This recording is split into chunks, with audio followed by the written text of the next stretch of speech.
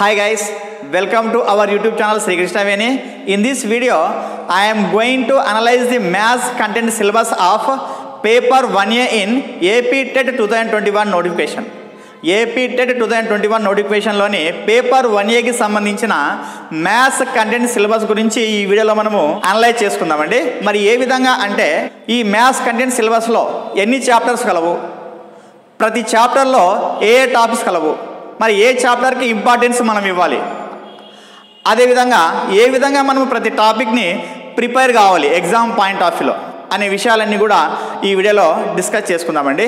Before the starting class if you watch my video first time please subscribe our YouTube channel Srikrishnaveni and share my videos to your friends well wishers and also relatives మరి class start చేయడానికంటే ముందుగా నా వీడియోను మొదటిసారిగా మీరు చూస్తూ ఉంటే మా ఛానల్ శ్రీకృష్ణవేణిని సబ్స్క్రైబ్ చేయండి.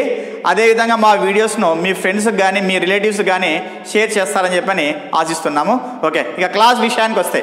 మరి ఈ మ్యాథ్స్ కంటెంట్ అనేది ఎన్ని మార్కులకు ఉంటుంది అంటే మనకు మొత్తానికి మ్యాథ్స్ వచ్చేసి థర్టీ మార్క్స్ ఉంటే ఓన్లీ మ్యాథ్స్ కంటెంట్ వచ్చేసి ట్వంటీ ఫోర్ మార్క్స్ ఉంటాయని చెప్పని మనకు అందరికీ తెలిసిన విషయమే. సిక్స్ మార్క్స్ వచ్చేసి మెథడ్స్ ఉంటాయని చెప్పని తెలిసిన విషయమే. ఓకే మరి ఈ ట్వంటీ ఫోర్ మార్క్స్లో ఏ టాపిక్స్ ఉన్నాయి మనకు? అని అంటే టోటల్గా సిక్స్ టాపిక్స్ ఆర్ దేర్ అనమాట okay maths content has six topics these are first one is numbers second one is mensuration third one is geometry fourth one is data handling fifth one is algebra sixth one is arithmetic మరి ఈ maths సిలబస్లో మనకు ఆరు చాప్టర్లు కలవు. First one is సంఖ్యలు second one is క్షేత్రమితి third one is రేఖాగణితము ఫోర్త్ వన్ ఈజ్ దత్తాంశ నిర్వహణ లేక సాంఘిక శాస్త్రము ఫిఫ్త్ వన్ ఈజ్ బీజగణితము సిక్స్త్ వన్ ఈజ్ వ్యాపార గణితం ఇవి మనకు టోటల్గా ఉన్నటువంటి చాప్టర్స్ అన్నమాట. మరి ఈ ఆరు చాప్టర్లో మరి దేనికి మనం ఇంపార్టెన్స్ ఇవ్వాలి మరి ప్రతి చాప్టర్లో ఎన్ని టాపిక్స్ కలవో ఆ టాపిక్స్లో ఏ విధంగా క్వశ్చన్స్ ఇస్తాడో అంటే ప్రీవియస్ క్వశ్చన్స్ అనలైజ్ చేసుకొని మనము ఎక్కడెక్కడ ఆ టాపిక్స్ని ఇంపార్టెంట్ ఇవ్వాలి? సిలబస్ వచ్చేసి మనకు ఏ క్లాస్ నుంచి ఏ క్లాస్ వరకు ఉంటుంది అనే విషయాలను కూడా తెలుసుకుందాము. యాజ్ యూజువల్గా మనకు పేపర్ వన్ ఏ ప్రిపేర్ అయ్యే వాళ్ళందరూ కూడా ఫస్ట్ క్లాస్ నుంచి ఎయిత్ క్లాస్ వరకు మనం ప్రిపేర్ కావాలని చెప్పని అందరికీ తెలిసిన విషయమే. అంటే మెయిన్గా మనకు సిలబస్ వచ్చేసి టెట్కు వన్ టు ఎయిత్ అని చెప్తారు. అట్లనే డిఎస్సికి వచ్చేసి వన్ టు టెన్త్ వరకు ప్రిపేర్ కమని చెప్తారు. మరి టెక్స్ట్ బుక్ సిలబస్ ఏ విధంగా ఉందంటే వన్ టు సిక్స్త్ వచ్చేసి న్యూ సిలబస్ చదవాలి మనము. అంటే న్యూ టెక్స్ట్ బుక్ చదవాలి. మరి నెక్స్ట్ సెవెంత్ ఎయిత్ వచ్చేసి ఓల్డ్ టెక్స్ట్ బుక్ అని చెప్పని కూడా మీ అందరికీ తెలిసిన విషయమే. ఫస్ట్ మనము సంఖ్యలు అనేటువంటి చాప్టర్ని తీసుకున్నామంటే అంటే నంబర్స్ అనేటువంటి చాప్టర్ని తీసుకున్నామంటే దాంట్లో ఏ ఏ టాపిక్స్ వస్తాయి ఒకసారి అనలైజ్ చేసుకొని వాటికి సంబంధించిన ప్రాబ్లమ్స్ కూడా వెంటనే ఎక్స్ప్లెయిన్ చేసుకుందామండి ఓకే? ఫస్ట్ చాప్టరు నంబర్స్ తీసుకున్నామంటే ఇంతకుముందు ఈ నంబర్స్ను వచ్చేసి నంబర్ సిస్టమ్ అని చెప్పి అనేవాడు అనమాట ఇప్పుడు వచ్చేసి ఏమంటున్నాడు ఓన్లీ నంబర్స్ అని చెప్పి అని ఇచ్చాడు అనమాట ఇప్పుడు వచ్చేసి సంఖ్యలు అన్నాడు ఈ చాప్టర్ను ఇంతకుముందు వచ్చేసి సంఖ్యామానము లేక సంఖ్యా వ్యవస్థ అని చెప్పి ఇచ్చేవాడు అనమాట మరి ఈ చాప్టర్లో ఏ టాపిక్స్ ఉన్నాయనంటే టోటల్గా మనకు ఇచ్చినటువంటి మ్యాథ్స్ కంటెంట్ సిలబస్లో పద్దెనిమిది టాపిక్లు ఉన్నాయన్నమాట. In this chapter eighteen topics are there అనమాట ఓకే ఫస్ట్ వచ్చేసి ఏదంటే ఫండమెంటల్ ఆపరేషన్స్ అనమాట నంబర్స్ ఫండమెంటల్ ఆపరేషన్స్ సంఖ్యలు వాటి చతుర్విధ ప్రక్రియలు అంటారు. అంటే ఏవేవి మనకంటే అడిషను సబ్స్ట్రాక్షను సబ్స్ట్రాక్షన్ డివిజన్స్ అనమాట అంటే ఏ విధంగా చేస్తాం మనం అని. లోయర్ క్లాసెస్ నుంచి. అంటే ఏ క్లాసెస్ అయితే మనకు థర్డ్ క్లాస్ నుంచి ఫిఫ్త్ క్లాస్ వరకు అనమాట ఈ నాలుగు భాగహారము వ్యవకలనము గుణకారము సంకలము ఈ నాలుగుకి సంబంధించిన ఇన్ఫర్మేషన్ అంతా కూడా మనకు థర్డ్ క్లాస్ నుంచి ఫిఫ్త్ క్లాస్ వరకు ఉంటుంది అనమాట నెక్స్ట్ ఆ తర్వాత సెకండ్ టాపిక్ వచ్చేసి నోయింగ్ అవర్ నంబర్స్ అన్నట్టు మన సంఖ్యలను తెలుసుకుందాం. అట్లనే థర్డ్ టాపిక్ వచ్చేసి ఇంటర్నేషనల్ సిస్టమ్ అనమాట అంతర్జాతీయ సంఖ్యామానం. అట్లా దాంట్లోనే హిందూ అరబిక్ సంఖ్యామానం కూడా వచ్చేస్తుంది మనకు. ఓకే మరి ఇవి రెండు కూడా ఎక్కడ ఉంటాయంటే మనకు ఫోర్త్ క్లాస్ నుంచి సిక్స్త్ క్లాస్ వరకు ఉంటాయి అనమాట ఓకే ఇవి మనకు జస్ట్ మ్యాథ్స్ ఫండమెంటల్ అనమాట ఖచ్చితంగా వీటి కూడా నేర్చుకోవాల్సిందే. చిన్నవి కదా అని చెప్పని మనం వదిలేసినటువంటి అవకాశం ఏముండదు. ఎందుకంటే బేస్ వచ్చేసి ఇక్కడ నుంచే మొదలవుతాయి మనకు. సంఖ్యలు అంటే వెంటనే ఏం నామం వస్తాయి మనకు అందరికి కూడా? సరి సంఖ్యలు బేజీ సంఖ్యలు ప్రధాన సంఖ్యలు సంయుక్త సంఖ్యలు ఉన్నాయి కదా? ఇవన్నీ వచ్చేస్తాయి మనకు ఎందుకంటే అవన్నీ కూడా ఫండమెంటల్ ఏందే ముందుకు మనం వెళ్ళాం కాబట్టి వీటిని కూడా మనం క్లారిటీగా నేర్చుకోవాలి? నెక్స్ట్ ఆ తర్వాత. ప్రైమ్ అండ్ కాంపోజిట్ నంబర్స్ ప్రధాన మరియు సంయుక్త సంఖ్యలు. ఎక్కడి నుంచి అవి? ఐదో తరగతిలో ఉన్నాయి దాని తర్వాత ఆరో తరగతిలో ఉన్నాయి. అట్లనే మనం ఎన్లార్జ్ తీసుకొని వెళ్ళాం అనుకో టెన్త్ క్లాస్లో కూడా ఉన్నాయి అనమాట మనకి ఎందుకంటే టెన్త్ క్లాస్ వరకు మనకు అవసరం లేదు. జస్ట్ ఓన్లీ ఎయిత్ క్లాస్ వరకే టెట్కి అవసరం అనమాట ఓకే కాబట్టి మనం only just fifth and sixth క్లాస్లో చూసుకున్నామంటే చాలు మనకు. ఆల్రెడీ ప్రధాన సంఖ్యలు అంటే మనకు తెలుసు సంయుక్త సంఖ్యలు కూడా మనకు తెలుసు అనమాట ఓకే నెక్స్ట్ ఆ తర్వాత రౌండింగ్ ఆఫ్ నంబర్స్ సంఖ్యలను సవరించుట. అంటే వందలకు కానీ వేలకు కానీ పదులకు కానీ ఏమి? వాటిని సవరించడం అనమాట రౌండింగ్ ది నంబర్స్ అంటే టెన్స్ హండ్రెడ్స్ థౌజండ్స్ అనమాట అది ఏ క్లాసెస్ అంటే మనకు ఓన్లీ సిక్స్త్ క్లాస్ మాత్రమే ఉందండి ఓకే నెక్స్ట్ హోల్ నంబర్స్ పూర్ణాంకాలు. అంటే మనకు? జీరో నుంచి మొదలైనవి. Zero one two three four five అవన్నీ కూడా ఏవైతే మనకు? పూర్ణాంకాలు అయితే అనమాట okay these are the whole numbers అనమాట ఓకే ఇవి వచ్చేసి ఎక్కడ అంటే మనకు సిక్స్త్ సెవెంత్లో ఉన్నాయన్నమాట. అలానే టెన్త్ క్లాస్లో కూడా ఉన్నాయి. ఎందుకంటే మనకు అవసరం లేదు కాబట్టి ఓన్లీ సిక్స్త్ అండ్ సెవెంత్లో మాత్రం నేర్చుకుందాం. నెక్స్ట్ ప్లేయింగ్ విత్ నంబర్స్ సంఖ్యలతో ఆడుకుందాం. మరి ఎక్కడ ఉన్నాయంటే ఇది ఎయిత్ క్లాస్లో ఉంది. ఇది వెరీ వెరీ ఇంపార్టెంట్ మనకు అనమాట ఇది సంఖ్యలతో ఆడుకుందాం. నెక్స్ట్ అట్లనే ఎయిత్ క్లాస్లో మళ్ళీ మనకి ఏమంటే డివిజిబిలిటీ రూల్స్ అనమాట భాగాహార సూత్రాలు కూడా. అంటే ఈ టాపిక్ పైన ఇది కూడా వచ్చింది దాంట్లో మనకు. కానీ ఈ భాగాహార సూత్రాలు అనేది ఎక్కడి నుంచి వస్తాయి మనకు అంటే ఫిఫ్త్ క్లాస్ నుంచి కంటిన్యూ అవుతాయి. ఫిఫ్త్ క్లాస్ నుంచి ఎయిత్ క్లాస్లో పూర్తిగా ఇన్ఫర్మేషన్ ఉంటుందన్నమాట. కాబట్టి మనం ఏం చేయాలంటే ఈ రెండింటికి కలిపి ఒకే టాపిక్ కింద తీసుకోవచ్చు మనము. ఎక్కడి నుంచి నేర్చుకోవాలి మనము? ఫిఫ్త్ నుంచి ఎయిత్ నుంచి ఈ టాపిక్. ఈ టాపిక్ వచ్చేసి ఏం ఓన్లీ ఎయిత్ క్లాస్లో మాత్రం ఉంటుంది. అంటే రెండు కూడా ఒకే టాపిక్ కింద లెక్క అనమాట మనం. డివిజిబిలిటీ రూల్స్ అంటే మనందరూ తెలిసిందే. భాగాహార సూత్రాలంటే రెండుతో ఐదుతో పదితో. ఈ మూడింటికి కలిపి ఒకే నియమం ఉంటుంది. అట్లనే ఏ- ఎనిమిదితో భావించేటప్పుడు లాస్ట్ మూడు డేట్స్ ఎయిట్తో భాగిస్తే ఆ సంఖ్య ఏమవుతుంది మనకు ఎనిమిదితో భాగించబడుతుందని చెప్పని తెలుసు అనమాట ఏమి? ఈ విధంగా మొత్తం అన్నీ మనకు కంప్లీట్గా రూల్స్ అని కూడా నేర్చుకొని పెట్టుకోండి ఎందుకంటే ఖచ్చితంగా వీటిలో కూడా ఎగ్జామ్ పాయింట్ ఆఫ్ వ్యూలో మనకు లెక్కలు వచ్చేటువంటి అవకాశం ఉంటుంది అనమాట నెక్స్ట్ ఆ తర్వాత ఫ్యాక్ట్ డివిజిబిలిటీ రూల్స్ తర్వాత ఫ్యాక్టర్స్ అనమాట ఇవి కారణాంకాలు అనమాట ఈ కారణాంకాలు కూడా ఐదో తరగతి నుంచి ఎనిమిదో తరగతి వరకు ఉంటాయి అనమాట ఓకే? అంటే కారణాంకాలు అంటే చిన్నగా మొదలైతే మనకు ఫిఫ్త్ క్లాస్ నుంచి పెద్దగా వచ్చేపాటికి ఏమైతాయంటే ఆల్జిబ్రా లింక్తో ఉంటాయి మనకు. అంటే ఏ విధంగా మనకు two x square minus three x five plus seven x five దీనికి కారణాంకాలు విడిగొట్టని అని చెప్పని ఇస్తారు అనమాట నెక్స్ట్ నంబరింగ్ కారణాంకాలు ఉంటాయి. లోయర్ క్లాసెస్లో ఉంటాయి మనకు. వాటిని కూడా నేర్చుకోవాలన్నమాట. ఓకే? నెక్స్ట్ ఆ తర్వాత మెథడ్స్ ఆఫ్ ప్రైమ్ ఫ్యాక్టరైజేషన్ ప్రధాన కారణాంకాలను కనుగొనే పద్ధతులు అనమాట ఏదైనా ఒక నంబర్ ఇస్తాడు. ఆ నంబర్కి ప్రధాన కారణాంకాలు కనుక్కోమంటాడు. అంటే మొత్తం అన్నిటిస్ కూడా ప్రధాన సంఖ్యలో లబ్ధంగా రాయమని చెప్పని ఇస్తాడు అనమాట ఏదైనా ఒక నంబర్ ఇచ్చి మనకు find the factorisation by using the prime numbers అని ఇస్తాడు అనమాట వాటి అనమాట అవి కూడా ఎక్కడ ఉన్నాయి మనకంటే ఫిఫ్త్ నుంచి ఎయిత్ వరకు ఉన్నాయి. అంటే ఎయిత్ క్లాస్లో ఎక్కువగా ఉన్నాయి అనమాట ఈ మూడు కూడా అంటే ఈ నాలుగు కూడా ఎయిత్ క్లాస్ సిలబస్ కంప్లీట్గా ఉందన్నమాట. ఓకే నెక్స్ట్ ఆ తర్వాత కో ప్రైమ్స్ ట్విన్ ప్రైమ్స్ సాపేక్ష మరియు కవల ప్రధానాంకాలు అనమాట ఇది వచ్చేసి మనకు ఐదో తరగతి నుంచి ఆరో తరగతి వరకు ఉన్నాయి. కో ప్రైమ్స్ అంటే మనకు? వన్ మాత్రమే కారణాంకంగా ఉన్నటువంటి ప్రధాన సంఖ్యలు ఏమంటామంటే కో ప్రైమ్స్ అని చెప్పి చెప్తాం అనమాట the prime numbers having only one as a factor అనమాట అంటే ఏది తీసుకోవచ్చు మనము? అంటే రెండు మూడు కావచ్చు. అది ఆ విధంగా ఉండేటివి. నెక్స్ట్ అట్లనే ఫిన్ ప్రైమ్స్ అంటే అర్థం ఏమనికంటే డిఫరెన్స్ టూ ఉండేటివి అనమాట మనకు. అంటే కవల ప్రధాన సంఖ్యలు అంటే డిఫరెన్స్ టూ ఉంటాయి. వాటిని తీసుకోవాలి అంటే త్రీ ఫైవ్ కావచ్చు లేకుంటే ఫైవ్ సెవెన్ కావచ్చు ఈ విధంగా అనమాట ఓకే? నెక్స్ట్ ఆ తర్వాత. అవి వచ్చేసి మనకు ఫిఫ్త్ క్లాస్ నుంచి సిక్స్త్ క్లాస్ వరకు ఉన్నాయన్నమాట. నెక్స్ట్ ఎల్సిఎం అండ్ ఎస్సిఎఫ్ కసాగు మరియు గసాబ్ అనమాట మరి ఇవి వెరీ వెరీ ఇంపార్టెంట్ మనకు. ఇక్కడ ఇచ్చినటువంటి మ్యాథ్స్ కంటెంట్ సిలబస్లో మరి ఎక్కడి నుంచి మొదలవుతాయి అంటే అవి ఫిఫ్త్ క్లాస్ నుంచి మొదలవుతాయి అనమాట ఈ న్యూ టెక్స్ట్ బుక్లో మనకు ఫిఫ్త్ క్లాస్ నుంచి మొదలై సిక్స్త్ క్లాస్లో కూడా కంటిన్యూ అవుతూ ఉంటాయి. మీరు పూర్తిగా నేర్చుకోవాలి అని అంటే డిఎస్సి లెవెల్లో కూడా నేర్చుకోవాలంటే మీరు ఎక్కడి వరకు వెళ్ళొచ్చు? టెన్త్ క్లాస్ వరకు వెళ్ళొచ్చు. లేకపోతే లోయర్ క్లాస్లో మాత్రం చూసుకోవచ్చు అనమాట ఓకే? ఏమి? నెక్స్ట్ ఆ తర్వాత. నెగటివ్ నంబర్స్ ఇంటిజర్స్ రుణాత్మక సంఖ్యలు పూర్ణ సంఖ్యలు.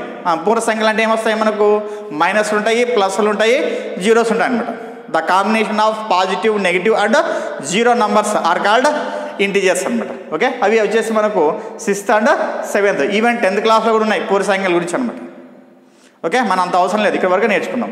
ఓకే నెక్స్ట్ ఆ తర్వాత ఫ్రాక్షన్స్ డెసిమల్స్ భిన్నాలు దశాంశ భిన్నాలు అంట మరి భిన్నాలు అంటే రకాలు ఉన్నాయి మనకి. సజాతి భిన్నాలు విజాతి భిన్నాలు. Types of fractions like fractions ఉన్నాయి ఇవ్వండి అవన్నీ నేర్చుకోవచ్చు అనమాట మనం. ఓకే నెక్స్ట్ దశాంశ భిన్నాలు డెసిమల్స్ అనమాట ఓకే అవి కూడా ఇక్కడ ఫిఫ్త్ టు సెవెంత్ అనమాట వీటి మధ్యలోనే ఉన్నాయి అనమాట నెక్స్ట్ ఆ తర్వాత రేషనల్ నంబర్స్ అకర్ణీయ సంఖ్యలు. ఏం అకర్ణీయ సంఖ్యలు అంటే? భిన్న రూపంలో ఉండే సంఖ్యలను అకర్ణీయ సంఖ్యలు అంటాం. The numbers which are in the form of p by q is called rational number అవి ఏ క్లాస్లో మనకు అంటే సెవెంత్ ఎయిత్ అనమాట మళ్ళీ టెన్త్ క్లాస్లో కూడా వస్తాయి మనకు అక్కడ కానీ మనకు అవసరం లేదు కాబట్టి ఇక్కడ వరకు చూసుకుందాం. ఓకే నెక్స్ట్ ఆ తర్వాత స్క్వయర్స్ క్యూబ్స్ వర్గాలు గణాలు అనమాట అవి ఎక్కడ ఉన్నాయంటే ఎయిత్ క్లాస్లో మాత్రం ఉన్నాయన్నమాట. అంటే టూ స్క్వేర్ త్రీ స్క్వేర్ అట్లా. పెద్ద నెంబర్లు ఫైండ్ అవుట్ చేసుకోవడం అనమాట ఓకే? నెక్స్ట్ క్యూబ్స్ సంబంధించినవి కూడా అనమాట నెక్స్ట్ ఆ తర్వాత square roots and cube roots అనమాట ఏవి? వర్గమూలాలు ఘనమూలాలు. అవి కూడా ఎయిత్ క్లాస్లోనే ఉన్నాయన్నమాట. Next profit and loss. లాభ నష్టాలు. యాక్చువల్గా ఈ నంబర్స్ అనే చాప్టర్లో ప్రాఫిట్ అండ్ లాస్ అనేది ఎందుకు వచ్చింది మనకి అని చెప్పని చాలామందికి కూడా డౌట్ వస్తుంది అనమాట ఎందుకంటే ప్రాఫిట్ అండ్ లాస్ అనే టాపిక్ ఎక్కడ సంబంధించింది? మనకు కమర్షియల్ మ్యాథమెటిక్స్లో అనమాట వ్యాపార గణితం అంటే అర్థమెటిక్ టాపిక్ సంబంధించింది ఇక్కడ పెట్టినాడు ఎందుకు పెట్టినాడంటే లోయర్ క్లాస్లో మనకు ఫోర్త్ అండ్ ఫిఫ్త్ క్లాసుల్లో ఈ సంకలన వ్యవకలనంలోన ఈ కూడికలు తీసివేసేటప్పుడు మనం లాభ నష్టాలను కూడా ఏం చేస్తుంటాము? ప్లస్ మైనస్ అని చెప్పని వేస్తుంటాం కదా. మనకి ఆ నిత్య జీవితంలో ఉన్నటువంటి మ్యాథ్స్ని ఏ విధంగా యూజ్ చేస్తుంటాం అనే విధాన్ని చూపించడం కోసం అని చెప్పని ఆ క్లాస్లో ఇంట్రడక్షన్ చేశాడనమాట లాభ నష్టాల గురించి లోయర్ క్లాస్లోనే అంటే ఏ క్లాసెస్ మనం చెప్పుకోవచ్చు అంటే ఫోర్త్ ఆర్ ఫిఫ్త్ అనమాట ఈ క్లాసులో ఇంట్రడక్ట్ చేశాడు. ఈ క్లాసులో ఇంట్రడక్షన్ ఇచ్చాడు. కాబట్టి ఈ నంబర్స్లోనే దీన్ని కలిపేశాడు. కానీ మనం నేర్చుకునే విధానం ఎట్లా ఉండాలంటే అర్థమెటిక్ బేస్ చేసుకొని దీన్ని నేర్చుకోవాలి. దీన్ని బేస్ చేసుకుని నేర్చుకున్నాం అనుకోండి పెద్దగా మనకు యూజ్ ఉండదు. అర్థమెటిక్ బేస్ చేసుకునే ఈ లాభ నష్టాల చాప్టర్ని క్లారిటీగా నేర్చుకోవాలన్నమాట. ఇవి టోటల్గా మనకు ఎన్ని టాపిక్స్ పద్దెనిమిది టాపిక్స్ ఉన్నాయి. మరి ఈ పద్దెనిమిది టాపిక్స్లో మనకు ఇంపార్టెన్స్ ఏవి మనకు? అంటే ఎక్కువగా ఎగ్జామ్ పాయింట్ ఆఫ్ వ్యూలో ప్రిపేర్ కావాల్సినటువంటి టాపిక్స్ ఏవి ఉన్నాయి అని అంటే మెయిన్గా చెప్పుకోవాల్సినది వచ్చేసి మనకి ఈ డివిజిబిలిటీ రూల్స్ అనమాట ఇవి divisibility rules factors and methods of prime factorisation next ఆ తర్వాత LCM and HCF okay next fractions okay? Next ఆ తర్వాత ఈ రేషనల్ నంబర్స్. నెక్స్ట్ ఇవి రెండు కావుడు కావచ్చు మనకు. Squares cubes square roots cube roots అనమాట అట్లనే ఈ పైన తీసుకున్నామంటే ఈ ప్రైమ్ నంబర్కి సంబంధించింది అనమాట అంటే ప్రైము కాంప్లీట్ నంబర్స్ ఆ తర్వాత కో ప్రైమ్స్ ట్విమ్ ప్రైమ్స్. ఈ టాపిక్స్ ఇప్పుడు నేను రౌండ్ చేసినట్టు ఏవేవంటే డివిజిబిలిటీ రూల్స్ సంబంధించి ఖచ్చితంగా ఒక ప్రాబ్లం ఉండేటువంటి అవకాశం ఉంటుంది. నెక్స్ట్ అట్లే ఈ ఫ్యాక్టర్స్ ఆ తర్వాత మెథడ్స్ ఆఫ్ ప్రైమ్ ఫ్యాక్టరైజేషన్ ఏమి? కారణాంకాలు ప్రధాన కారణాంకాలను కనుగొనే పద్ధతిలో ఖచ్చితంగా ఒక ప్రాబ్లం ఉంటుంది. నెక్స్ట్ ఆ తర్వాత ఎల్సిఎం హెచ్సిఎఫ్ సంబంధించి కాసా గసాబకు సంబంధించి కూడా ఒక ప్రాబ్లం ఉంటుంది అన్నమాట.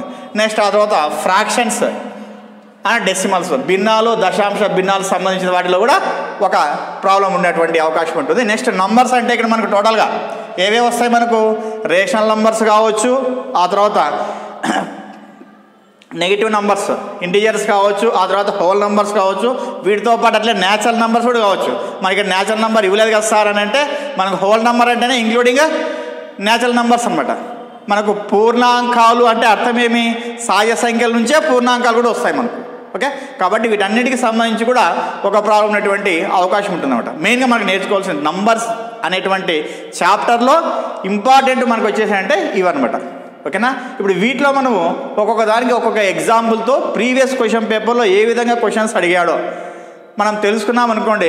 నెక్స్ట్ ప్రిపేర్ కావడం చాలా ఈజీగా ఉంటుందన్నమాట. ఎందుకంటే మ్యాథ్స్ అంటేనే మనకు చాలామందికి కూడా సూత్రాలు బేస్ అవుతాయి. అన్ని ఇంటూ డివిజన్స్ ఏవేవో వస్తుంటాయి మాకు. చాలా ఇబ్బంది అని చెప్పి నాన్ మ్యాథ్స్ వాళ్ళు ఆలోచిస్తూ ఉంటారు. కానీ ఇప్పుడు నేను చెప్పేటువంటి ఈ క్లాసును మీరు పూర్తిగా లాస్ట్ వరకు విన్నారనుకోండి నెక్స్ట్ ఎగ్జామ్లో మీకు ఖచ్చితంగా మీకు ప్రిపేర్ అయ్యేటువంటి విధానము ఏ విధంగా అని చెప్పని క్లారిటీగా అర్థమైపోతుంది కాబట్టి ఈ వీడియోని మీరు అందరూ కూడా లాస్ట్ వరకు చూడండి. గ్యారంటీగా మ్యాథ్స్ని ఇంత ఈజీగా ప్రిపేర్ కావచ్చా? ఇంత ఈజీగా మనము మార్క్స్ గెయిన్ చేసుకోవచ్చటువంటి ఆలోచన మనకు వచ్చేస్తుంది అనమాట ఓకే? మరి ప్రాబ్లం చూద్దాం వీటిలో ఇప్పుడు.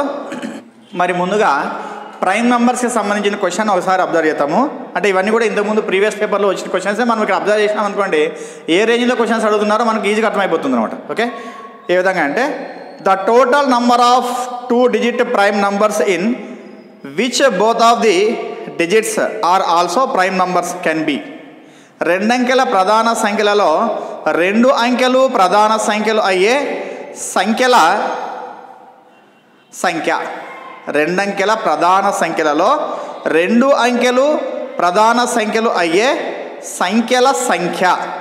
First option is two second option is three third option is four fourth option is five మనం ఎప్పుడే కానీ క్వశ్చన్ని బాగా అబ్జర్వ్ చేయాలి మనం. అర్థం కాకపోతే రెండు మూడు సార్లు చదవాలన్నమాట. ఓకే మరి ఏమి ఇచ్చాడు క్వశ్చన్ మనకంటే రెండంకెల ప్రధాన సంఖ్యలలో అన్నాడు. Okay two digit prime numbers రెండంకెల సంఖ్యలు ఎక్కడి నుంచి మొదలైతే మనకు యాక్చువల్గా అయితే? పది నుంచి తొంభై తొమ్మిది వరకు ఉంటాయి మనకు. మన అంటే పది నుంచి తొంభై తొమ్మిది వరకు ఉండేటువంటి సంఖ్యల్లో ప్రధాన సంఖ్యలు ఉన్నాయంట. ఆ ప్రధాన సంఖ్యల్లో ఆ రెండు అంకెల సంఖ్యలు కూడా ఏం కావాలి మనకు? ప్రధాన సంఖ్యలు అయ్యే ఉండాలన్నమాట. From ten to ninety nine numbers find the prime numbers which having two digits are also primes అనమాట ఇది క్వశ్చన్ మనకు. మరి ఏ విధంగా అంటే ఇప్పుడు నేను ఫస్ట్ ఏం చేస్తానంటే సింగిల్ డిజిట్ ప్రైమ్ నెంబర్స్ రాసుకుంటాను ఏవేవంటే టూ కదా తర్వాత త్రీ రాసుకోవచ్చు.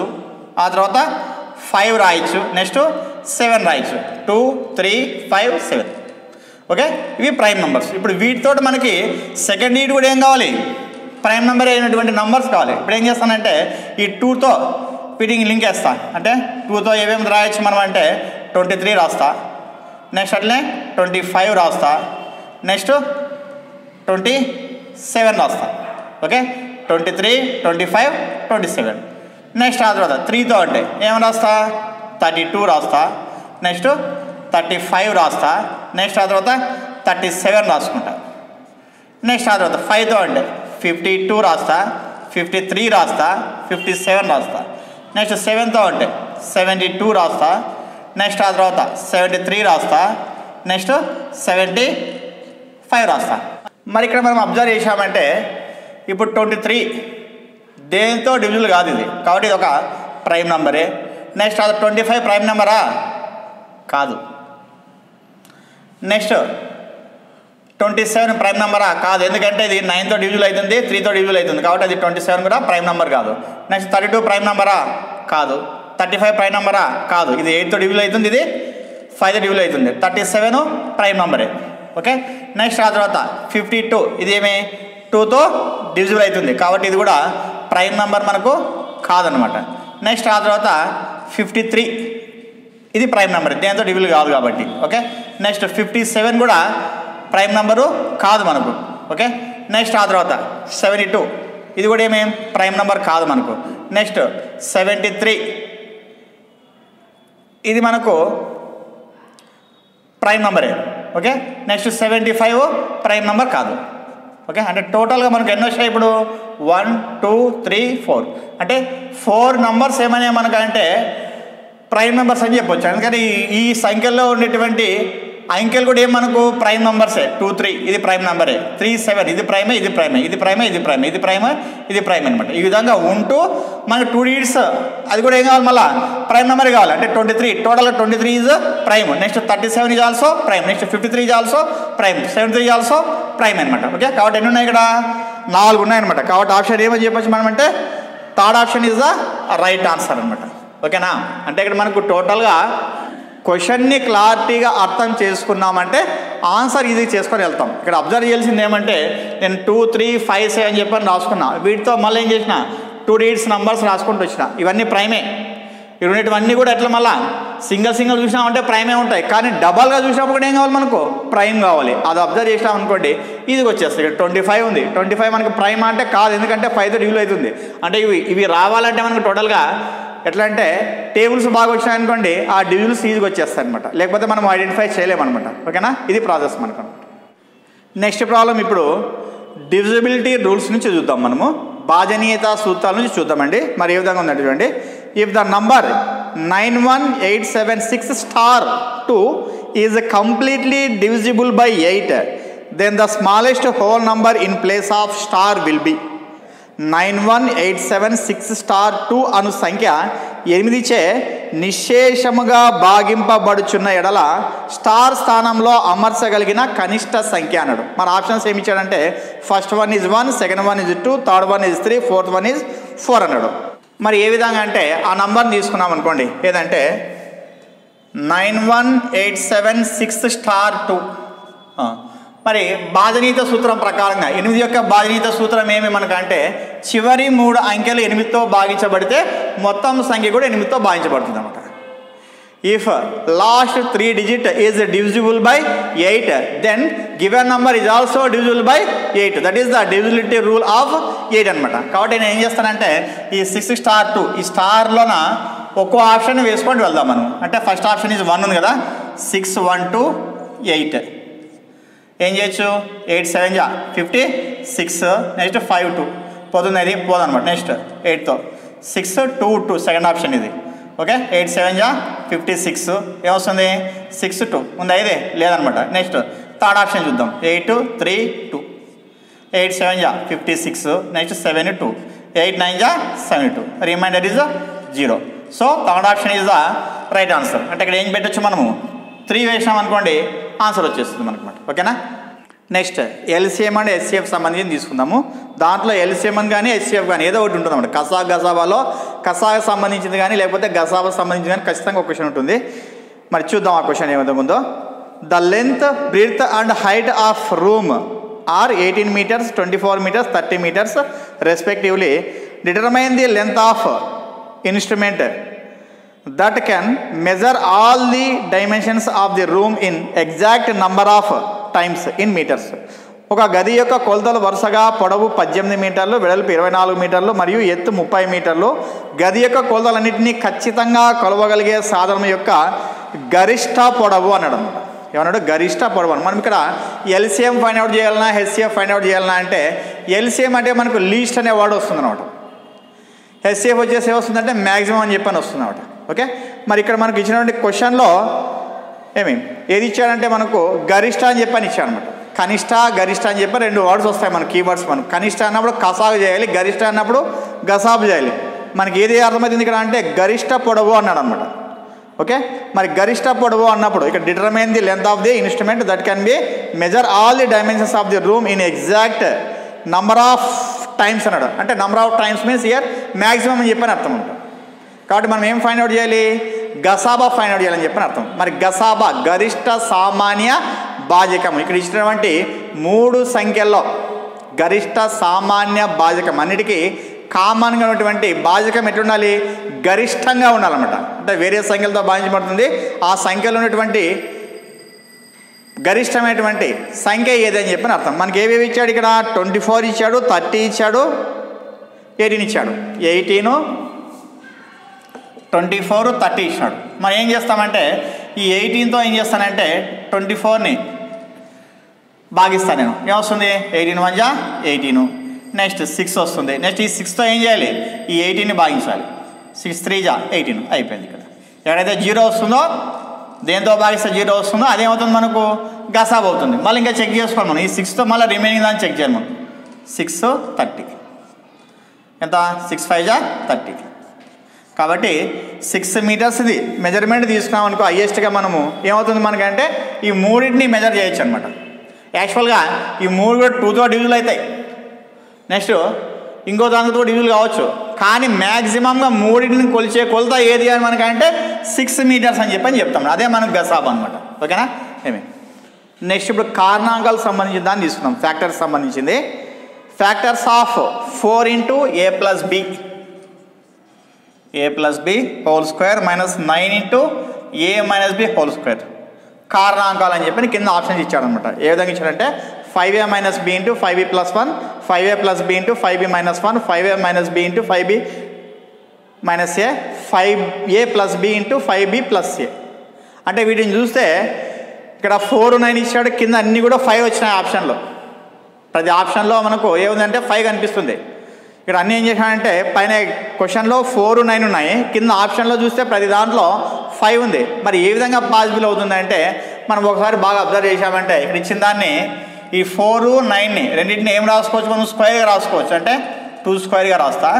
A plus B whole square ఎట్లా రాసుకుంటా? Next three square A minus B whole square రాసుకుంటా. ఇప్పుడు దీన్ని మొత్తాన్ని హోల్ స్క్వేర్ రూపంలో రాస్తా. Two into A plus B whole square రాయచ్చు మనం next three into sorry three into A minus B whole square రాసుకుంటాం ఓకేనా? ఏమి? ఇప్పుడు దీన్ని హెచ్ఎం చేసుకున్నాం లేకుంటే అట్లని కూడా పెట్టుకున్నామంటే ఓకే మనకి. ఇప్పుడు ఇది ఏమైంది A square minus B square అయింది A square minus B square అంటే అర్థం ఏమనుకో? A plus B into A minus B అని చెప్పని అర్థం. కాబట్టి నేను ఏం చేస్తానంటే ఫస్ట్ మనకి ఇది ఏ ఇది బి అనమాట A square minus B square ఏం రాయాలి ఇప్పుడు? ఏ ప్లస్ బి రాయాలి. ఏ ప్లస్ బి రాయాలంటే two into A plus B plus three into A minus B okay ఇది ఒకటి. Next into A minus B అన్నాడు. ఈ మొత్తం ఏ మనకు. అంటే ఏమి? Two into A plus B next minus half three into A minus B ఓకేనా ఏమి? ఇప్పుడు ఏం చేస్తానంటే దీన్ని సింప్లిఫై చేసుకుంటే. Two A plus two B తర్వాత three A minus three B next ఆ తర్వాత ఇక్కడ. Two A plus two B minus three A minus into minus వస్తుంది? ప్లస్ త్రీ బి అనమాట ఓకే ఇప్పుడు చూడండి టూ ఏ త్రీ ఏ ఎంత? Five A next two B minus three B అంటే ఏమొస్తుంది మూడులో నుంచి రెండు పోతే ఎంత? ఒకటి అనమాట ఏది ఉంది? పెద్దదాని గుర్తు. మైనస్ ఉంది కాబట్టి ఏం చేస్తాం? మైనస్ బి అని చెప్పి అని వేస్తాం. ఇక్కడ ఏం లేదు కన్ఫ్యూజ్ కావాల్సిన పనిలే మనము. ప్లస్ మైనస్ ఉంటే ఏం చేయాలి మనం అంటే మైనస్ చేయాలి. పెద్ద సంఖ్యలో నుంచి చిన్న సంఖ్యను తీసేయాలి. పెద్దదాని గుర్తే వేయాలి. అదే చేసినాం ఇక్కడ. నెక్స్ట్ ఆ తర్వాత ఇక్కడ. టూ ఏ మైనస్ త్రీ ఉంది. కాబట్టి ఏం చేస్తాం? మూడులో రెండు పోతే ఏమి? ఒకటి. గుర్తు ఏం చేయాలి? మైనస్ వేయాలి మనం కాబట్టి ఏం చేస్తా? మైనస్ అని చెప్పి రాసుకుంటా. నెక్స్ట్ ఆ తర్వాత two B plus plus three B ఎంత? ఫైవ్ బి కాబట్టి ఆప్షన్ ఏం చెప్పొచ్చు మనము?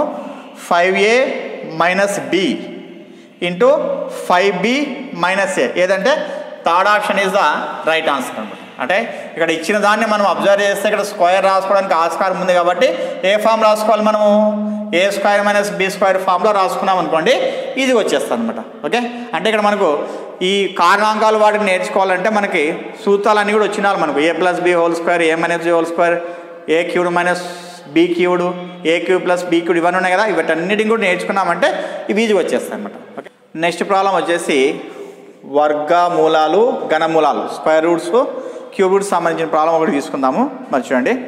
Two numbers are the ratio of root thirteen is to root two one nine seven and their sum is four sixty two then the numbers are రెండు సంఖ్యల నిష్పత్తి route పదమూడు is to route రెండు వేల నూట తొంభై ఏడు మరియు వాటి మొత్తం నాలుగు వందల అరవై రెండు అయిన ఆ సంఖ్యలు.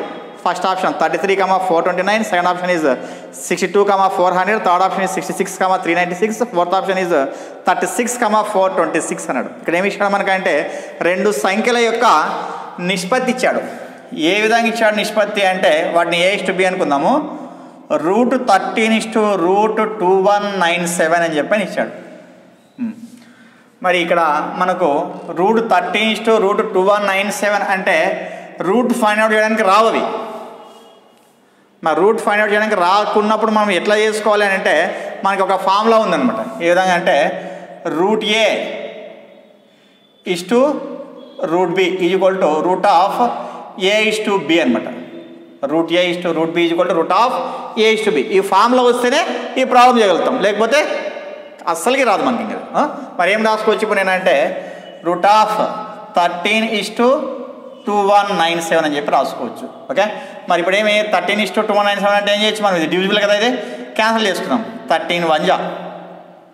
థర్టీన్ వన్ జా థర్టీన్. థర్టీన్ అంటే ఎంత ఉంటుంది? ఎయిట్ ఉంటుంది. థర్టీన్ సిక్స్ జా సెవెంటీ ఎయిట్ అంటే సెవెంటీ ఎయిట్ అన్నప్పుడు మనకు వన్ వన్ ఉంటుంది. అంటే వన్ వన్ సెవెన్ అనమాట అంటే థర్టీన్ నైన్ జా వన్ వన్ సెవెన్ అంటే ఏమొచ్చింది? Root of one is to one sixty nine ఇప్పుడు మనము ఈ రూట్ వన్ అంటే ఎంత వస్తుంది? వన్ అని వస్తుంది. రూట్ వన్ సిక్స్టీ నైన్కి ఎంత వస్తుంది మనకు?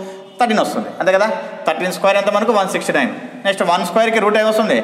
వన్నే వస్తుంది మనకు. కాబట్టి ఇక్కడ వన్ ఇస్ థర్టీన్ అని చెప్పి. అంటే ఏ ఇస్ బీ ఈక్వల్ ఏమని అర్థం మనం? వన్ ఇస్ థర్టీన్ అని చెప్పి అని అర్థం. అంటే క్వశ్చన్ ఏ విధంగా ఇచ్చాడు అండి? ఇంతకుముందు క్వశ్చన్ ఎట్లా అడిగేవాడంటే రెండు సంఖ్యల నిష్పత్తి వన్ ఇస్ టు థర్టీన్ అయితే ఆ సంఖ్యలు అని చెప్పి అడిగేవాడు. అది ఆ విధంగా ఇవ్వకుండా ఏం చేశాడు? ఇదంతా స్టోరీ ఇచ్చాడు మనకు ప్రాబ్లమ్ని డైరెక్ట్గా ఇవ్వకుండా రేషియో క్రియేట్ చేసి ఆ రేషియోకి రూట్స్ వేసి ఆ రూట్స్ మళ్ళీ ఈ ఫార్ములా ఖచ్చితంగా వచ్చేటట్టే చేసినమాట ఈ ఫార్ములా రాదనుకోండి ఖచ్చితంగా మనకు ప్రాబ్లం వచ్చేటువంటి అవకాశమే ఉండదనమాట. ఓకే? మరి ఏదైనా విధంగా చేయొచ్చు మనం ఇప్పుడు అంటే వన్ ఇస్ థర్టీన్ అన్నాడు. తర్వాత ఆ సంఖ్యలు అన్నాడు. ఆ సంఖ్యలు అన్నాడు అంటే అర్థమే మనకు? ఆ సంఖ్యలు అంటే రెండింటి మొత్తం కనుక మనం ఇచ్చినాడు. వాడే వాడే ఇచ్చాడు థర్టీన్ ప్లస్ వన్. ఆ సంఖ్యల మొత్తము అంటే మనకు వాడు ఇచ్చింది sum of given two numbers is four sixty two అన్నాడు. అంటే అప్పుడు ఏం చేస్తాను నేను? Thirteen plus one is equal to fourteen కదా. ఈ ఫోర్టీన్కి ఏమని అర్థం మనకు? ఫోర్ సిక్స్టీ టూ అని చెప్పని అర్థం. ఓకే? అంటే ఇది ఒక భాగం ఉంది ఇది పదమూడు భాగాలు ఉంది. మొత్తం కలిపితే పద్నాలుగు భాగాలు ఉంది. పద్నాలుగు భాగాలకి ఏది సమానం అనకంటే నాలుగు వందల అరవై రెండు అని చెప్పని సమానం అని చెప్పని అర్థం. మరి ఒక భాగానికి ఎంత అని చెప్పని అనుకుంటాను ఓకే? ఇది కంపారిజన్ మెథడ్ మనకు. ఇదాన్ని కంపేర్ చేసుకున్నాం కిందది బై పైది వేసుకోవాలా? ప్రతి దాంట్లో ఇట్లనే కిందది బై పైదే వేసుకోవాలి. మీరు మచ్చ బై స్మాల్ స్మాల్ బై మచ్చ ఎక్కువ బై తక్కువ తక్కువ బై ఎక్కువ ఏం అవసరం లేదు. కిందది బై పైది వేసుకున్నాం అంతే. అంటే one by fourteen A is equal to one by fourteen into four sixty two fourteen one జా ఫోర్టీన్ త్రీ జా ఫార్టీ టూ మళ్ళీ ఫోర్ ఉంటుంది. ఫోర్టీన్ త్రీ జా ఫార్టీ టూ అంటే ఎంత వచ్చింది? థర్టీ త్రీ వచ్చింది. ఏ వచ్చేది థర్టీ త్రీ వచ్చిందంటే బి ఏం చేయొచ్చు మనం? ఫోర్ సిక్స్టీ టూలో నుంచి థర్టీ త్రీ చేసినామంటే ట్వెల్వ్లో త్రీ పోతే నైన్ ఫైవ్ ఉంటుంది. ఫైవ్లో టూ పోతే ఫైవ్లో త్రీ పోతే టూ తర్వాత ఫోర్ ఉంది. ఫోర్ ట్వంటీ నైన్ అనమాట మరి ఎన్నో ఆప్షన్ మనకు ఇక్కడ అంటే first option is the right answer అనమాట thirty three comma four twenty nine ఇప్పుడు బాగా క్వశ్చన్ అబ్జర్వ్ చేయండి మీరు. మనకి ఇచ్చిన క్వశ్చన్ ఏ టాపిక్ నుంచి వచ్చినదంటే మనకి ఇక్కడ స్క్వేర్ రూట్స్ క్యూ రూట్స్ అనుకోవచ్చు. మనకు స్క్వేర్ రూట్ సంబంధించి ఒకటి తీసుకున్నాను నేను. మరి ఏ విధంగా ఇచ్చాడంటే దీంట్లో లింక్ మనకు ఇవన్నీ కూడా మనకు రూట్స్ సంబంధించినటువంటి ఫార్ములాస్ అనమాట వాటన్నిటిని నేర్చుకున్నామంటేనే ఈజీగా వచ్చేస్తుంది అనమాట లేకపోతే వచ్చేటువంటి అవకాశము ఉండదన్నమాట. ఓకే? నెక్స్ట్ ప్రాబ్లము ఫ్రాక్షన్స్ని నుంచి తీసుకుందామండి. భిన్నాలను నుంచి తీసుకుందాం మనము. Five by sixth of a certain amount exceeds four by seventh of the amount by eleven rupees then the amount in rupees is కొంత సొమ్ములో ఐదు బై ఆరో వంతు మరియు అదే సొమ్ములో నాలుగు బై ఏడో వంతు కన్నా పదకొండు రూపాయలు ఎక్కువ అయినా ఆ సొమ్ము రూపాయలలో అనడం. ఇక్కడ కీ పాయింట్ ఏమంటే అంటే నేను చేసే విధానం ఏమంటే మనకి ఎక్కడే కానీ ఈ కాంపిటేటివ్ ఎగ్జామ్లో వచ్చేసి ఎక్కువ తక్కువ లేకపోతే పెద్దవాడు చిన్నవాడు అని చెప్పని పదాలు వచ్చినాయి అనుకోండి ఏమని అర్థం అంటే మనకు భేదము అని చెప్పని అర్థం అనమాట మచ్ స్మాలు గ్రేటరు అట్లా ఎల్డరు ఓ యంగరు ఓల్డర్ అని చెప్పి వర్డ్స్ వచ్చినాయి అనుకోండి యంగర్ దాన్ ఓల్డర్ దాన్ అని చెప్పని వర్డ్స్ వచ్చినాయి అనుకోండి ఏమని అర్థం మనకంటే డిఫరెన్స్ అని చెప్పని అర్థం. ఇక్కడ ఏమి ఇచ్చినాడంటే ఎక్కువ అనే పదం వచ్చింది. ఇక్కడ ఏమని అర్థం మనకు? కొంత సొమ్ములో ఐదు బై ఆరో వంతు మరియు అదే సొమ్ములో నాలుగు బై ఏడో వంతు కన్నా పదకొండు రూపాయలు ఎక్కువ అన్నది అంటే ఆ రెండింటి యొక్క డిఫరెన్స్ ఎంత అని అర్థం మనకు? లెవెన్ రూపీస్ అని చెప్పని అర్థం. నేను ఏం చేస్తానంటే ఇప్పుడు five by six minus four by seven చేస్తా. ఎంత వస్తుంది? ఎల్సిఎం ఎంత? ఫార్టీ టూ మనకు. తర్వాత సెవెన్ ఫైవ్ జా థర్టీ ఫైవ్ సిక్స్ ఫోర్ జా ట్వంటీ ఫోర్ ఎంత వచ్చింది eleven thirty five minus twenty four అంటే లెవెన్ బై ఫార్టీ టూ ఈ భిన్నం యొక్క మీనింగ్ ఏం మనకంటే అంటే టోటల్గా ఫార్టీ టూ ఉందని చెప్పని అర్థం. దాంట్లో పదకొండు భాగాలు ఉన్నాయని చెప్పని అర్థం. అంటే మొత్తం ప- నలభై రెండు భాగాలు అయితే దానికి గాను పదకొండు భాగాలు ఉన్నాయని చెప్పని అర్థం. ఈ పదకొండు భాగాలకి ఎంత సమానం అని చెప్పని అర్థం మనకు? లెవెన్ రూపీస్ అని చెప్పని అర్థం మనకు. ఓకేనా? మరి వాడు ఏమన్నాడు మొత్తం ఎంత అన్నాడు? మొత్తం అంటే అర్థమే మనకు అప్పుడు? ఫార్టీ టూ అని. ఫార్టీ టూకి ఎంత అని చెప్పి అర్థం సేమ్ ఇక. Forty two by eleven into eleven. ఏమవుతుంది? క్యాన్సల్ అయితే ఎంత వస్తుంది? ఫార్టీ టూ రూపీస్ వస్తుంది ఇది మీనింగ్ ఇది కూడా అవసరం లేదు డైరెక్ట్ చెప్పొచ్చు. లెవెన్ వచ్చింది అక్కడ లెవెన్ ఉంది. ఫార్టీ టూకి ఏమొస్తుంది? ఫార్టీ టూ వచ్చేస్తుంది అనమాట ఓకే? మీకు ఇంకా క్లారిటీగా కావాలంటే నెక్స్ట్ వీడియోలో ఈ ఫ్రాక్షన్స్ సంబంధించిన చాప్టర్ చేస్తాను. దాంట్లో బాగా చూసుకోవచ్చు మీరు అనమాట ఓకే? నెక్స్ట్ ప్రాబ్లము నంబర్స్కి సంబంధించి తీసుకుందాం. అంటే నంబర్స్ అంటే మొత్తం natural numbers whole numbers integers rational numbers వీటన్నిటికి సంబంధించినటువంటి అంటే సహాయ సంఖ్యలు పూర్ణాంకాలు పూర్ణ సంఖ్యలు కరణీయ సంఖ్యలు అకర్ణీయ సంఖ్యలు వీటన్ని సంబంధించింది అంటే కర్ణీయ సంఖ్యలు లేవనుకో వీటన్ని సంబంధించింది తీసుకుందాం. ఏదంటే the rational number twelve by five lies between పన్నెండు బై ఐదు అనే అకర్ణీయ సంఖ్య వీటి మధ్య ఉండును. ఆప్షన్స్ ఫస్ట్ వన్ వచ్చేసి root two and root three. Second option is root three and root five. Third option root five and root seven. Fourth option is root seven and root eleven అన్నాడు. మరి ఏ విధంగా చేయవచ్చు? మనం అంటే first twelve by five వాల్యూని find out చేద్దామండి. Twelve by five వాల్యూని ఫైండ్ అవుట్ చేయాలంటే ఏం చేస్తాం? ఫైవ్తో ట్వెల్వ్ని డివిజిబుల్ చేసినామంటే మనకు. ఫైవ్తో ట్వెల్వ్ని డివిజిబుల్ చేసినామంటే ఫైవ్ టూ జా. Ten two point zero five four జా. ట్వంటీ. ఎంత వాల్యూ ఇది? టూ పాయింట్ ఫోర్ అనమాట ఈ టూ పాయింట్ ఫోర్ వేటి మధ్యలో ఉంటుందని చెప్పి అడుగుతున్నాడు వాడు. అక్కడ ఇచ్చిన ఆప్షన్స్ ఏమి మనకంటే ఫస్ట్ ఆప్షన్ వచ్చేసి root two and root three అన్నాడు. అంటే యాక్చువల్గా మనకు రూట్ టూ వాల్యూ వచ్చేసి ఎంత? One point four one four root three value వచ్చేసి one point seven three two ఇది మనకి ఈ రెండింటికంటే ఎక్కువ ఉంది. టూ పాయింట్ ఫోర్ కాబట్టి ఫస్ట్ ఆప్షన్ ఈజ్ రాంగ్ అనమాట next second option is root three and root five అన్నాడు. రూట్ త్రీ అంటే ఇక్కడ నుంచి మొదలవుతుంది. మరి రూట్ ఫైవ్ అంటే మనకు వాల్యూ తెలీదు. మీరు మ్యాథ్స్ వాళ్ళు కాబట్టి మీరు తెలిసి వచ్చి సార్ మా నాన్ మ్యాథ్స్ వాళ్ళం మాకు తెలియదు కదా అంటే మరి ఏ విధంగా అంటే రూట్ ఫైవ్ వాల్యూని ఫైండ్ అవుట్ చేసే విధానం ఒకసారి చెక్ చేసుకుందాం మనము. ఏ విధంగా అంటే ఫస్ట్ ఫైవ్ తీసుకోవాలి. ఈ ఫైవ్ని ఏం చేస్తామంటే ఇక్కడ డాట్ పెట్టుకోమంట అంటే దీన్ని డాట్ మెథడ్ అని చెప్పి చెప్తారనమాట లేకపోతే డివిజన్ మెథడ్ అని చెప్తారనమాట ఓకే? ఈ డాట్ పెట్టుకొని సేమ్ నంబర్స్తో డివిజిబుల్ చేయాలన్నమాట. ఏమవుతుంది? టూ టూ జా ఫోర్ అనమాట ఓకే? ఫైవ్లో ఫోర్ పోతే వన్ అనమాట నెక్స్ట్ ఏం చేస్తామంటే కంటిన్యూ కోసం అని చెప్పని పాయింట్ పెట్టుకుంటాం ఇక్కడ. ఇక్కడ పాయింట్ పెట్టామంటే ఇక్కడ కూడా పాయింట్ పెట్టాలి. నెక్స్ట్ మళ్ళీ డాట్ ఎక్కడ పెడతామంటే ఆఫ్టర్ వన్ డీట్ అనమాట ఇక్కడ. ఓకే? వన్ ఎయిట్కి వన్ ఎయిట్కి మధ్యలో గ్యాప్ ఉంటుంది పాయింట్కి అనమాట నెక్స్ట్ మళ్ళీ ఏం చేయాలంటే ఈ టూ డీట్స్ని ఇక్కడ రాసుకోవాలన్నమాట. ఈ టూ జీరోస్ని అనమాట ఇప్పుడు ఇక్కడ ఏదైతే ఉంటుందో దాన్ని ఖచ్చితంగా మనం ఏం చేస్తామంటే టూతో మల్టిప్లికేషన్ చేస్తామన్నమాట. అంటే ఏమొస్తుంది అప్పుడు? ఫోర్ వస్తుంది. ఇప్పుడు ఈ ఫోర్ పక్కన ఏ వాల్యూ వేస్తామో ఇక్కడ కూడా అదే వాల్యూ వేయాలి. ఆ రెండింటిని మల్టిప్లికేషన్ చేస్తే ఏం రావాలి? వంద రావాలి. లేకపోతే దానికంటే తక్కువ రావాలి. మరి ఏం తీసుకోవచ్చు మనం అంటే టూ తీసుకోవాలన్నమాట. మరి మల్టిప్లికేషన్ ఏదో ఉంటుందో బాగా అబ్జర్వ్ చేయండి. ఫార్టీ టూ ఇంటూ టూ అని తీసుకోవాలి. ఈ మొత్తం తీసుకోరాదు. Forty two into only two అనమాట ఏమొస్తుంది అప్పుడు ఫోరు ఎయిట్ ఎంత? ఎయిటీ ఫోర్ మనకి జాలింగా. Root five is two point two అనుకుందాం. నెక్స్ట్ రూట్ సెవెన్ వాల్యూ కూడా మనకు తెలీదు. మరి రూట్ సెవెన్ వాల్యూని ఏ విధంగా ఫైండ్ అవుట్ చేస్తామంటే సెవెను. డాట్ వేసుకొని సేమ్ నంబర్స్. టూ టూ జా ఫోర్ అన్నమాట. త్రీ తీసుకున్నామంటే త్రీ జా నైన్ వస్తుంది అంటే దీనికంటే ఎక్కువ వస్తుంది కాబట్టి టూ టూ జా ఫోర్ తీసుకుందాం నెక్స్ట్ త్రీ. ఇక్కడ డాట్ పెట్టుకుంటే ఇక్కడ డాట్ పెట్టాలి. నెక్స్ట్ టూ జీరోస్ ఒక డాట్. మళ్ళీ ఏం చేస్తా? ఈ టూ జీరోస్ ఇక్కడ రాసుకుంటా. నెక్స్ట్ దీని ఏం చేయాలి? ఖచ్చితంగా టూతో మల్టిప్లికేషన్ చేస్తే ఫోర్ వస్తుంది. మరి త్రీ హండ్రెడ్కి ఈక్వల్ కానీ దీనికంటే తక్కువ కానీ ఉండేటువంటి వాల్యూ తీసుకోవాలి. మనం ఏది తీసుకోవచ్చు అంటే సిక్స్ తీసుకున్నామంటే సరిపోతుంది అనమాట సిక్స్ సిక్స్ జా. Thirty six. సిక్స్ ఫోర్ జా? ట్వంటీ ఫోర్ ట్వంటీ సెవెన్ అనమాట. అంటే nearly root seven value is two point six అనమాట. మనకు థర్డ్ ఆప్షన్ ఏమన్నాడు? Root five and root seven అన్నాడు. మనకి ఈ మధ్యలో ఉండే వాల్యూ ఇది టూ పాయింట్ ఫోర్ అనమాట. మరి రెండింటి మధ్యలో ఖచ్చితంగా ఏముంటుంది? టూ పాయింట్ ఫోర్ ఉంటుంది. కాబట్టి third option is the right answer అనమాట. ఓకే? ఇటువంటి లెక్కలు మనకు టెక్స్ట్ బుక్లో ఉండవు అనమాట ఇవి జనరల్ ఉన్నటువంటి లెక్కలు అనమాట. మనకి root two root three root five root seven అంటే మనకి స్క్వేర్ రూట్ కూడా ఇక్కడ లింక్ అయిందనమాట స్క్వేర్ రూట్ ఫైండ్ అవుట్ చేసేది ఉంది. తర్వాత ఆ నంబర్స్ సంబంధించిన ప్రాబ్లం ఇదనమాట ఈ విధంగా మనము ప్రిపేర్ అయ్యేటువంటి విధానం అనమాట ఎందుకంటే ఒక టాపిక్ తీసుకున్నాం అనుకో అదే టాపిక్ పైన ప్రాబ్లం ఫామ్ చేయడం అనమాట ఒక రెండు మూడు టాపిక్లు లింకప్ చేసుకుంటూ ప్రాబ్లమ్ని ఫామ్ చేస్తాడనమాట కాబట్టి మనం కూడా ఎట్లా ప్రిపేర్ అయ్యాలంటే మొత్తం ఆల్ సిలబస్ని ప్రిపేర్ అయిన తర్వాత అన్నిటిని మిక్స్డ్గా ప్రాబ్లమ్స్ని ప్రాక్టీస్ చేసినాం అనుకోండి మనం ఎగ్జామ్ పాయింట్ ఆఫ్లో ఎగ్జామ్ని రీచ్ అయ్యేటువంటి అవకాశం ఉంటుందన్నమాట. ఓకే నెక్స్ట్ వచ్చేసి ప్రాఫిట్ అండ్ లాస్ సంబంధించిన ప్రాబ్లం చూద్దాము.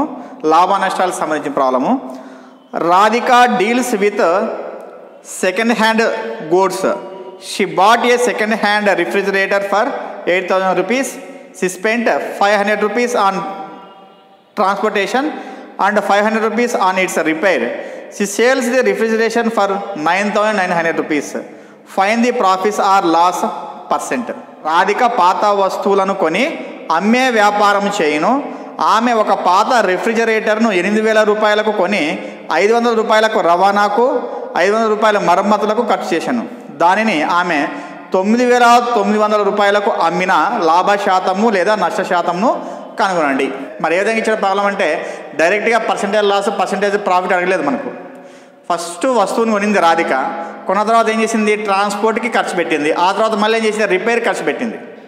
అంటే అప్పుడు మనం కొన్నవేళ ఏం చేస్తాము? ఆ మూడిని ప్లస్ చేస్తాం మనం. కాబట్టి కాబట్టి ఏం చేస్తానంటే సిపి అంటే ఏమని రాస్తానంటే ఫస్ట్ ఆమె కొనేది ఎనిమిది వేల రూపాయలు.